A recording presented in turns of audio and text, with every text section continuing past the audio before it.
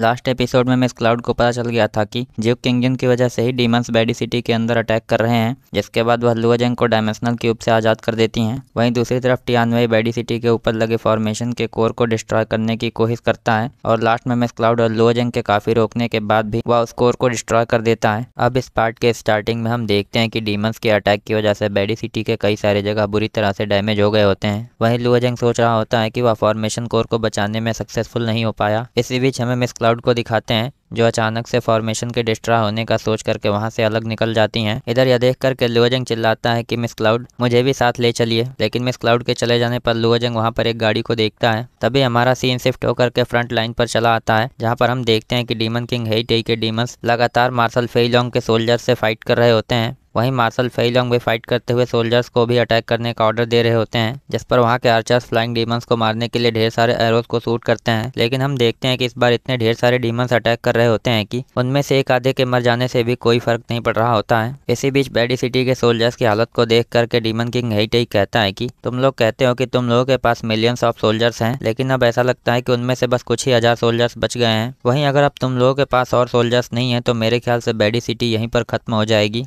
इसके बाद हम देखते हैं कि अचानक से डीमन किंग हेटी पावरफुल स्लैश अटैक करता है। जिसे अपनी तरफ़ बढ़ता हुआ देख करके एक सोल्जर सोचता है कि अब तो हमारा जाएगा। लेकिन हम देखते हैं कि मिस क्लाउड यहाँ पर पहुँच करके अपने डायमेंशनल बैरियर से उस अटैक को रोक देती हैं। तब यह देख करके डीमन किंग हेटी एक साथ कई सारे स्लैश अटैक को लॉन्च करता है, जिस पर मिस क्लाउड उन अटैक्स को डिफेंड करने के लिए कई सारे डायमेंशनल ट्राइंगल बैरियर का इस्तेमाल करती हैं। इधर जनरल जू भी फ्रंट लाइन पर बहुत ही बुरी तरह से डीमन से फाइट कर रहे होते हैं। तभी वहाँ पर मार्शल फेलोंग भी जनरल जू की हेल्प करने चले आते हैं। तब हम देखते हैं कि जनरल जू मार्शल फेलोंग को बताते हैं कि टियानवेई ज्यूक फैमिली के टेलीपोर्टेशन एरे का इस्तेमाल करके बेडी सिटी के अंदर चला आया था, जिसके बाद उसने फॉर्मेशन के कोर को डिस्ट्रॉय करने के लिए खुद को भी सेक्रीफाइस कर दिया। यह सुन करके मार्शल फेलोंग कहते हैं कि अब हमारे पास मिस क्लाउड के डायमेंशनल बैरियर्स के अलावा और कुछ नहीं है। इसलिए जनरल जो यह बैटल बैडी सिटी के फ्यूचर को डिसाइड करने के लिए काफ़ी ज़्यादा क्रिटिकल होने वाला है। इधर हम देखते हैं कि मिस क्लाउड कई सारे डीमंस को अपने डायमेंशनल क्यूब के अंदर पकड़ चुकी होती हैं, जिसके बाद वह उन डीमंस को उन डायमेंशनल क्यूब्स के अंदर ही मार देती हैं। पर मिस क्लाउड नोटिस करती हैं कि फ्रंट लाइन के सोल्जर्स टियानवई और हेईटेई जैसे डीमन किंग्स का सामना करके डीमोटिवेट हो गए हैं। ऊपर से लगातार डीमन से फाइट करने की वजह से उनकी हालत भी खराब हो गई होती है।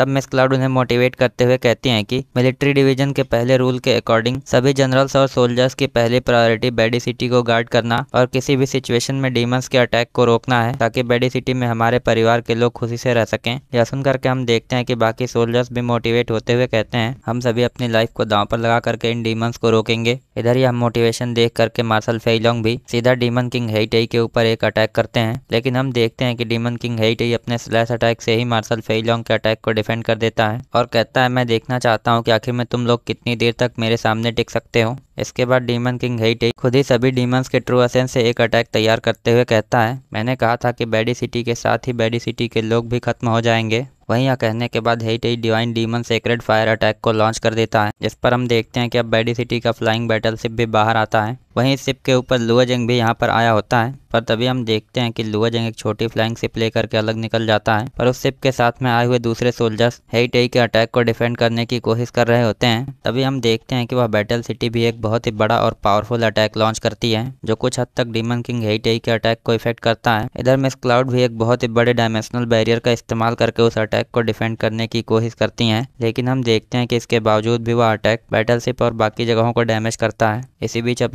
लुओजंग जनरल वू और मार्शल फेईलोंग के पास पहुँच करके उन्हें बताता है कि डीमन किंग टियानवे ने खुद को सेक्रीफाइस करके फॉर्मेशन के कोर को डिस्ट्रॉय करने की कोशिश कर रहा था। लेकिन मैं और मिस क्लाउड मिल करके भी उसे टाइम से पहले नहीं रोक पाए। इस पर मार्सल फेईलोंग कहते हैं कि हाँ मुझे इसके बारे में पता चला। लेकिन अब डीमन किंग हेई भी अपने ट्रू एसेंस को रिलीज़ कर रहा है, जिसकी हेल्प से उसने divine demon sacred fire attack को लॉन्च किया है। वहीं अगर यह डीमनिक फायर एक बार सिटी के अंदर फैल गई तो हमारी सिटी में बहुत ही ज़्यादा नुकसान होगा। इधर हम देखते हैं कि मिस क्लाउड अपने बैरियर से लगातार इस डीमनिक फायर को रोक रही होती हैं, जिसे देख करके मार्शल फेईलोंग लुअजंग को बताते हैं, अब केवल मिस क्लाउड इस फायर को सिटी में फैलने से रोक सकती हैं, लेकिन फिर भी हम लोग इस समय मिस क्लाउड की कोई हेल्प नहीं कर सकते हैं। इसके बाद मार्शल फेई लॉन्ग लुअजंग से पूछते हैं कि, क्या तुम ईस्टर्न रीजन के गार्डियन सोल्जर बनना चाहोगे?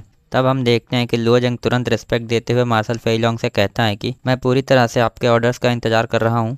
तब मार्शल फेईलोंग लुओजेंग से कहते हैं कि, मैं चाहता हूँ कि तुम किसी भी सिचुएशन में मिस क्लाउड को प्रोटेक्ट करो। इस पर लुआजंग कहता है कि मैं बिल्कुल ऐसा कर सकता हूँ, लेकिन मैं इसके लिए आप लोगों से कुछ उधार लेना चाहता हूँ। तब हम देखते हैं कि असुन करके मार्शल फेलोंग और जनरल जो थोड़ा बहुत हैरान होते हैं, और इसी के साथ हमारा यह पार्ट यहीं पर इंड होता है। So I hope you guys like this video and subscribe my channel. और अगर आप इस सीरीज़ के स्टार्टिंग के पार्ट्स या फिर लास्ट एपिसोड को देखना चाहते हैं तो आप लेफ़्ट वाली प्लेलिस्ट पर क्लिक करके देख सकते हैं।